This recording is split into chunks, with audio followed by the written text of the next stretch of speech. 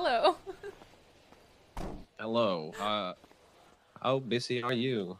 Uh, not really. Not really. Okay. No, what's up? Uh, I've been tasked by Dean to find some spots for like billboards, Like new billboards? like billboards for your uh, Oh, for our campaign. mayor, yeah, campaign thing, yeah. Well, you are so in luck because I have one of your favorite people in the world with me right now. And Who can help and will help. Who? Al- Alex Ron. No, Ew, he's one of your favorite people in the world. You need to expand those. No, I thought circles. you. I, no, I, I thought I thought you were like being ironic. No, no.